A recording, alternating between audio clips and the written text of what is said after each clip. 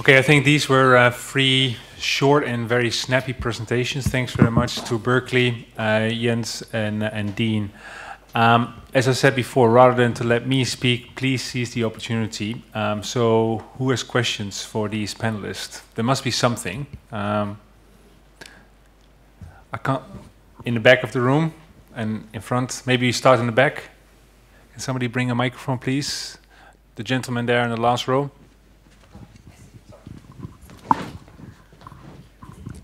Hi, my name is Jeremy Skinner from IIED. I was very interested to hear everything that's being said, and I've learned probably more this afternoon than I've learned since Monday. Um, but that probably reflects my my lack of knowledge of certain certain topics. Um, what struck me this week is that we're talking about water and food security. That agriculture consumes 70% of the world's water, but every time we have a panel or a meeting or a discussion about the private sector, it's all institutions. There is no private sector here that I can see that adequately represents the 70% of users of the world's water. So, given what you've just said, you're beginning to get us into this whole private sector thing. You've talked about some of the service suppliers, some of the kit suppliers. There was mention of food companies filing returns. What would your advice be to the water sector, of which I'm more part, about how to go about engaging the private sector, whoever that is, that is using 70% of the world's water. How do we do it? To, and you're addressing that to whom? Anybody sitting here. Okay. Do you, do you want to take it, Dean? Why don't you start, Eva? Yeah.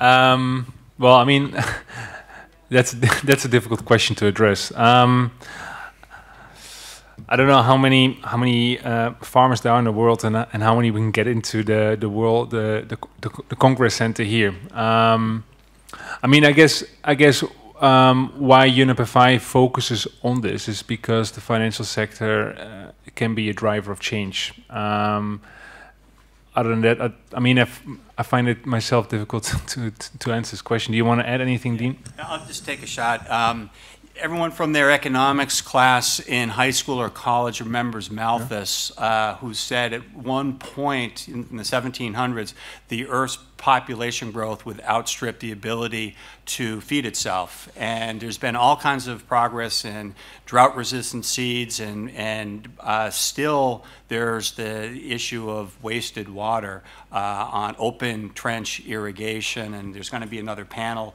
uh, on this, and so I don't want to steal any of their thunder, but from my standpoint in the equipment and services, I am seeing some fabulous innovation on companies in Israel who have drip irrigation where you can actually put salt water into the pipes and it leaches out fresh water in a very passive desalination. So there's technology advances. Monsanto with their drought resistant seeds, there's, there's uh, solutions through innovation to address this. Um, but you're right about, I don't see a big constituency on the farming community here probably one remark on that. Uh, we're sitting here on the financial sector panel, but also the link to the private sector is, I think, very strong because our leverage as a financial sector is very big.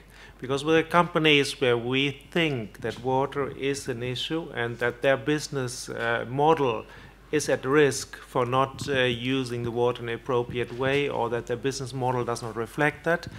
Uh, just we don't invest. So if they don't get change, if they don't listen to us, and we, we don't start discussions where we think we are satisfied with the answers and with the changes we see at the company, we are not investing in anything where we don't understand the risks and where we don't see a sustainable business model. So I think the dialogue is there between financial institutions and the private sector, and changes are happening because of both sides are want to do changes. I might just quickly add that I think one of the reasons why there's a separate panel on agriculture and why we didn't bring it up or why many NGOs work exclusively on agriculture or don't talk about it much is there aren't very many industries that are 10,000 years old um, and that are truly global. And agriculture is different. And I don't say that as an excuse or as a, you know, I say it as a call to action, but I do think that is part of the reason why it's often dealt with separately. I also just wanted to, to distinguish quickly about consumptive water use. Most agriculture is not consumptive use. It does go back into the watershed, whether it's polluted, whether it, you know, there's sediment and nutrient issues, whether it's going back into the source from whence it came, those are all questions. But it is, there just wanted to make that distinction between agriculture does not consume 70% of the, of the world's water. It's just withdrawals often, often go that direction. Thanks. The gentleman in the middle here. Um, and also please introduce yourself, uh, sir. Uh, Keith Weatherhead from Cranfield University in the United Kingdom. Uh, I guess worldwide everyone's now accepting we're seeing greater variability uh, in climate. Uh, and in Europe, it's pretty well embedded all the way across the political parties that this is human induced. Uh, as I understand it, in America, that's not so uh, agreed by everyone. And of course, your business response is very different, whether you consider this as a cyclical uh, change or a runaway human induced uh, impact. I, is the political uh, will in the US affecting the way the business community is reacting, or are you just ignoring, or are you able to ignore that? Do you want to take them, Berkley? Or did you, Berkley? All right. Um, yeah, so I think from, from our perspective, certainly the lack of political will has impacts, but that has not stopped corporate action. And I think that's part of why the Ceres corporate program and water work ha has had so much traction over the last few years and why we're focusing our resources there now, because there's serious leverage and players in the business community see these risks, they feel these risks in their bottom line, or, or they're facing different regulatory schemes in a multinational supply chain or customer base.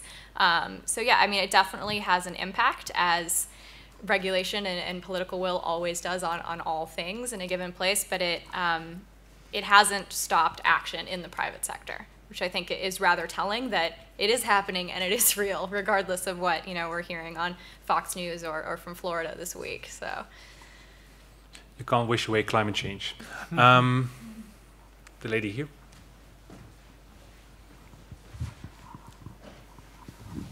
thank Uh, Ulrike Sapiro from Coca-Cola, um, one of the private companies that has been hanging around here um, all week, and uh, um, yeah, with, with a minor um, connection to agriculture. But I have another question, which is I, I, can't quite reconcile the data that we've just heard from the from the panel, which seem to suggest increasing and, and actually very dramatically growing interest of investors uh, into water and, and a lot of money behind this. I mean, I'm, I'm not good with numbers, but 50 what is trillion uh, dollars investment behind behind investors interested in the CDP uh, water disclosure. Um, and I can't reconcile it with a comment from the gentleman at Bloomberg who said, well, actually, there is not a lot of knowledge around, uh, maybe in the financial sector, around water. So I'd like to understand how you see this, um, how you would assess your own, as a financial sector, your own understanding of water um, to the uh, detail, and, and where you go to get that knowledge, and what tools you would go back to to actually make do with it. I mean, not everywhere needs to have water experts, but, but you need to work with somebody, I suppose, to help you with that quickly clarify the CDP point and then, and then pass it on. But so that those assets, those are from organizations that are signatories to the movement. So they've signed up and say, we, we want this information, we believe this is important. That doesn't mean they're directing, directing investment dollars based on any kind of water risk lens or you know index or anything along those lines. And I would say that that's that's a lot of what we see in general. And I, I heard, heard someone else earlier this week say, oh, in our consulting business, water is key. We don't talk about it on the investment side within the same the same shop. Um, so I, th I, think that that's part of the disconnect. And in terms of finding data and, and solutions, I'll pass that on. Yeah. I'm probably coming to your question about knowledge in the financial sector about water. I think you're right that the financial sector in the past, uh, water knowledge was not very uh, common and not very common apart from the part the sector investing in like water technologies, water works and so on, but see water as a more global transversal thing.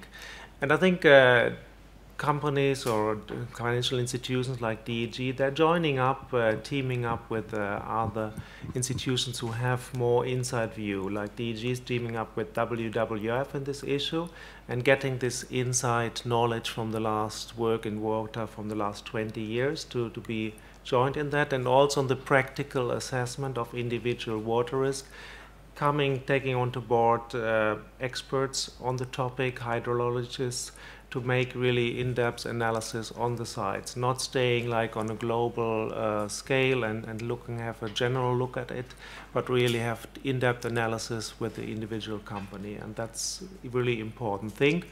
And probably part of my work, I'm in sustainability department. I mean, companies, financial institutions like the development banks are having big teams which are not uh, economists but engineers and, and have really knowledge about uh, water and other environmental topics. And that's, I think, an important thing financial institutions start to develop nowadays.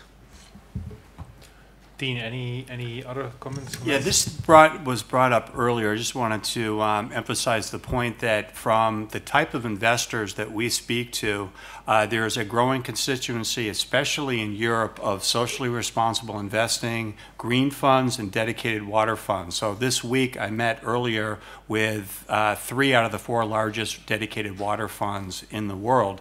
Uh, and these are teams of analysts that are responsible for and have parameters of how they invest in companies that are exposed to the water sector. So there's a significant expertise, uh, but also they are also responsible for a return to their uh, their investors. And so while there may be appeal. Uh, long-term sustainability appeal about these investments. At the end of the day, they're measured on their returns, and they must be investing in companies that will provide uh, a, a, healthy return. Uh, it doesn't mean necessarily this quarter, but it has to be uh, broadly from the investors looking at this as a, providing an, an, economic return. Water versus energy versus infrastructure, they're all competing for investment dollars. Yeah, Gita? You know, you know, there's, there's time for two more minutes. Yeah, sure just as um, you know, we had um, I said um, i understand what uh, Jens and uh, Dean were saying when being in the bank. Mm. Sorry, can you hear me better? Yep. Yes. Yeah. Okay, um, I'm from Societe Generale, and we mm. we work uh, quite a lot with the uh, with your company, uh, your institution, and uh, and Citi. And I just wanted to say that regarding knowledge, um, mm, you know, management and using it in terms of uh, the financial sector supporting the financial sector doesn't exist as as such. It it does that because it's it's an intermediary in hmm. in the economic in the economy of any country, and it, it works with, of course, corporates and also uh, other other other customers.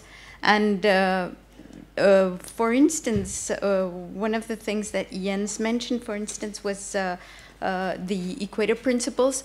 Well, typically, um, when you look at the IFC performance standards, which are what which is what the, the, the, standards that usually are used by the EP equator principles financial institutions like uh, Citi, like um, uh, your company.